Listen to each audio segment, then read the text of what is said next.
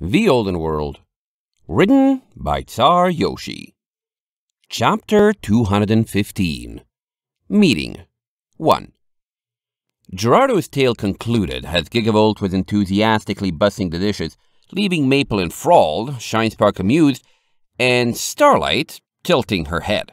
Why is that scary? the filly protested. She was perfectly fine. We didn't even try to hurt her. Ah! Gerardo raised a talon. The horror, young Starlight, is not in what happened, but what might have been. Immediate danger is the realm of terror.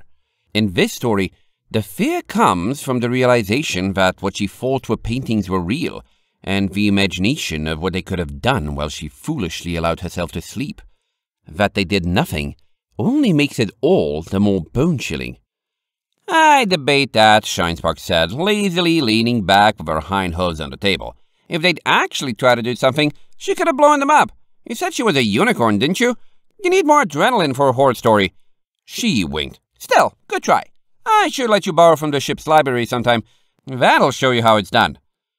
Gerardo drooped. I think you may be missing the point. I enjoyed it, Maple offered, shuddering. For a given definition of enjoyed. I couldn't help but notice, Gunga interrupted, wiping sauce from his trim moustache, that the story's morals were interesting. How does it come to judge the monsters as vile even at the very end, after it was clear they did nothing? It sounds as though they are horrendous merely because they are different from the protagonist. And that, Gerardo winced harder. Well, my version of the tale was slightly modified from the original Griffish version, which happened to be based around a certain rarer race of ponies I believe I am somewhat indebted to for assisting my friends, yet are viewed culturally there in a different light. Maple's eyes widened, and she stopped smiling. Oh, she looked away.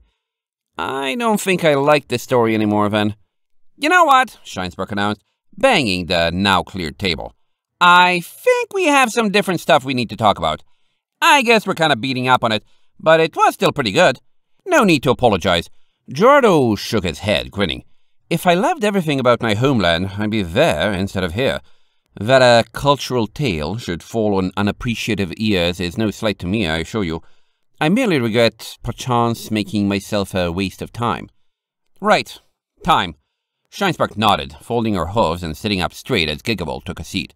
Also, I think I'm about to make myself look silly for making fun of explosions earlier, but eh, we have some important things to talk about and some important decisions to make. Maple looked worriedly around, and Starlight scooted imperceptibly closer to her. The first and biggest issue, Shinespark said, narrowing her eyes. I'd very much like to have be the arrival of Starlight and Maple. It means, starting today, we're this close to flying this thing, establishing a SOSA only trade route with the Plains of Harmony, and restoring our place as the gateway to the world. But that isn't the case. Gerardo, she motioned with a hoof, you turned up late enough that I haven't had a chance to tell any of these ponies what you had to say. Care to do the honors? Suddenly, Maple was even more worried. Very well. Gerardo stood up to speak. Then, bluntly, he said, Someone who has access to the water district has planted a large quantity of bombs against the Easter Dam wall and could flood all of SOSA and the lowest lying parts of the Earth district at the moment's notice. Say that again?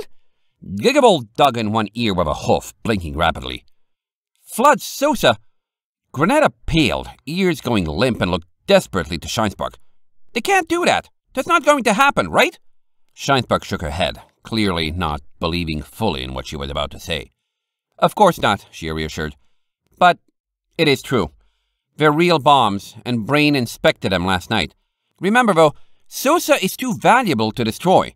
Even as the furthest and supposedly least civilized district in Ironridge, we still are responsible for a significant portion of the city's economic output, including processing all the ore that's mined in the Flame District. No one would do that but they're still there. If I may clarify on the explosive circumstances, Gerardo interrupted, they're rigged to all detonate at once whenever any one of them is removed from the wall. One bomb contains a trigger that can be used to detach it from the wall remotely, and in turn cause a detonation with a range of most parts of the water district. Captain Selma claims to be on our side and has cast a sealant spell that should forcibly glue the bombs to the wall, preventing remote detonation through some time tonight. You recognize the type of explosive, eh, Shinespark? Gunga raised a sharp eyebrow. How are bombs such as these normally diffused? They're not designed to be, Shinespark sighed, hanging her head. I did some research on them. They actually send a magical current through the surface on which they're anchored, so we'd literally have to cut off part of the dam around them to get them off without exploding, and the trigger mechanism is set off by lack of energy, so some sort of power drain is out. But there is one thing we can do, and it's so contrived, it has to be deliberate. Oh? Everyone leaned in. Shinespark nodded. Water. There's a modification that's been made to these bombs, and it must have been on purpose that makes them not watertight. Rain won't cut it. It needs to be practically submersion. But the chemicals inside used to spark the explosions aren't properly sealed and could be converted to inert forms with enough soaking. She sighed again. About 40 hours of it. Gerardo frowned. The bombs would become inert for 40 hours, or... They'd have to soak for that long not to explode, Shinespark corrected. Sousa doesn't have many Pegasi, let alone ones who can hold water against a wall for that long, but the bombs are located on the area covered by the emergency spillway, and opening that for two days would probably do the trick. Shinespark's free hench ponies all grimaced. Gerardo did too. Sorry, but Maple swallowed the conversation going in one ear and out the other. I think we might be missing something important. There are bombs? Starlight nodded. Shinespark sighed. The simple way to put it, she explained, is that yesterday, while he was looking for you in the Defense Force Fortress, Gerardo found something that could be used to wash away all of Sousa. We don't know anything more, including who did it, why they did it, whether we were intended to know or how long it's been there, and we need to figure out as much as possible so we can come up with a plan. No matter how unlikely it is that this would be used, it's dangerous and we can't take it lightly. So, what do you want us to do? Starlight frowned. Will we be safe if we wait here in this boat? A boat's not going to be hurt by a flood, is it? You said this thing can float. Hold on, Maple interrupted, standing up with enough force that her chairs went skidding backwards. How bad of a flood would this be? It's a whole mountain worth of water. It'll... Wait. Shinespark stood as well, walking to the back wall and opening a panel in the wood, a metal console tucked behind. She lowered her horn to it, occasional sparks flying, and with a hum, the room's lights dimmed until it was nearly black. Suddenly, the starboard wall came awash with color, some sort of magical image projected inside a huge glass pane that insulated the wood behind. Maple blinked, gaping and focusing, trying to separate the colors into a coherent image, and eventually realized it was Ironridge, seen from the northeastern sky. We can move the map around however you want, Shinespark offered, pacing back to her chair with thin wisps of magic trailing from her horn. These walls are pretty spiffy. Gigantic screens for looking at maps, having teleconferences, watching recordings or camera feeds, you name it. The wall paneling behind them is even retractable, so if we were airborne, this could be a real window. Anyway, this is a projection I made of what it might look like. Her horn flickered, and the map moved to a perfect top-down view, the Yule visible as a lake basin north and east of the Earth District, stretching out above the mountain chain where the dams were constructed and flowing east to Riverfall. Then, the projection changed, showing the eastern dam removed, and the entire reservoir draining into the lake, backing up and expanding it to the west, through dried out areas where the river had been rerouted years ago and covering everything around them.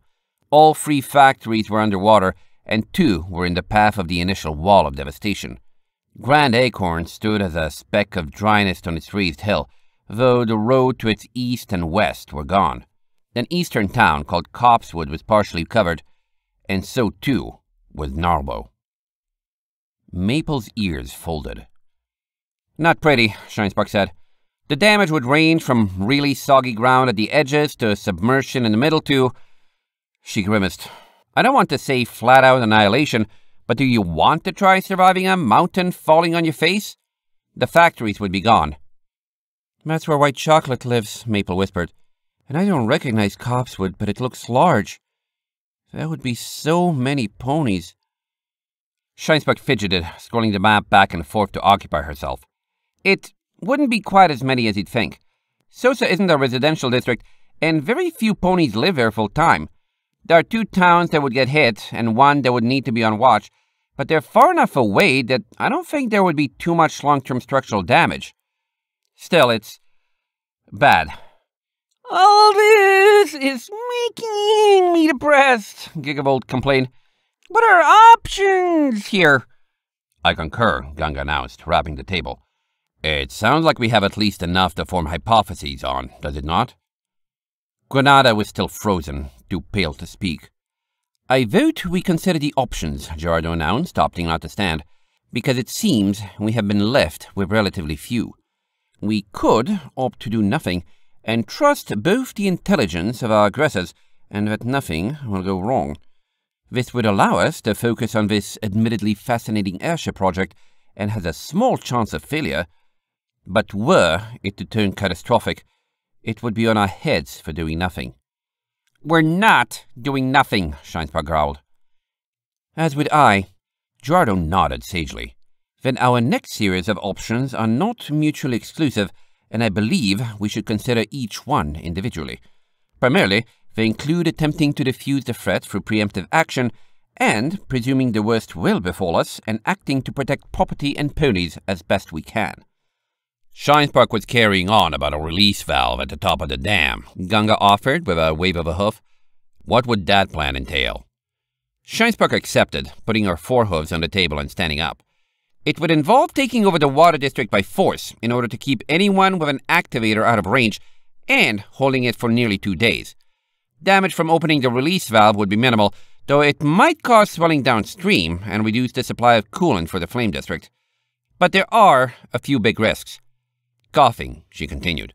First off, this would mean military action. Ponies could and would get hurt, and it would inflame tensions between the districts that are, honestly, pretty bad already.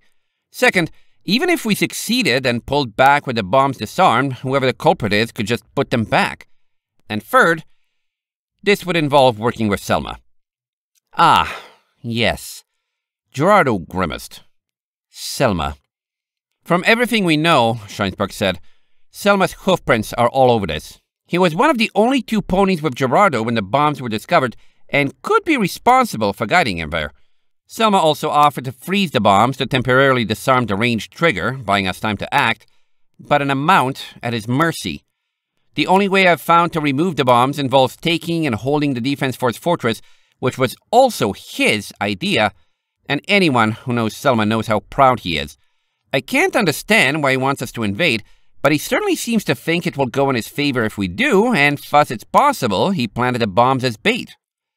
Gerardo shrugged. Unfortunately, as self-reinforcing as that explanation is, it does not rule out the possibility that Selma is in fact on our side and not the culprit. While he did give me a strange vibe the time we met, it is technically possible he truly is altruistic. What would he stand to gain from inviting us in if he didn't plant the bombs, though? Ganga's lips twitched. Assuming he wanted to let us remove this problem for him, and it was indeed a problem, it wouldn't remain a secret and would reflect very poorly on the defense force. Selma runs his militia with an iron hoof. If this were unintended, he would want to cover it as quietly and discreetly as possible, not invite a walking public relations disaster into his house. Gerardo raised a talon in solidarity. A very valid point. So it looks like Selma might really have to do with this, Shinespark declared, cutting off the present conversation. Although, here's an idea. It's not a secret that the Defense Force has a lot of internal politics and could very well try to get us wrapped up in a struggle between two sides, particularly if someone in the Defense Force had a colleague they wanted to discredit. Maple? Starlight? Do you two have a friend who might know anything about this? Maple fidgeted, smiling awkwardly. Well, you see... End of chapter 215.